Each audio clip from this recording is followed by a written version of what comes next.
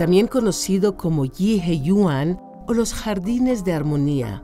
El Palacio de Verano fue construido en 1750. Y bueno, este Palacio de Verano es impactante castillo jardín de 290 hectáreas y sirvió durante la dinastía Qing como un retiro de verano imperial. Actualmente es considerado uno de los lugares más bellos, pacíficos y fotogénicos de toda China.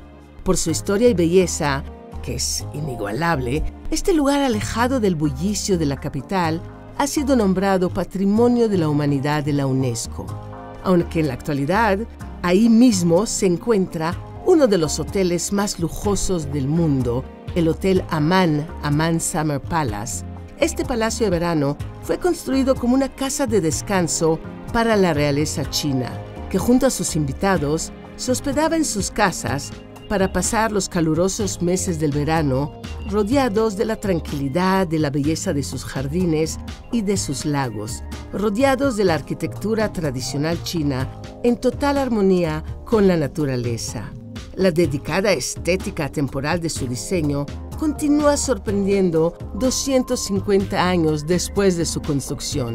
Cada aspecto de la propiedad irradia tranquilidad y serenidad infinitas.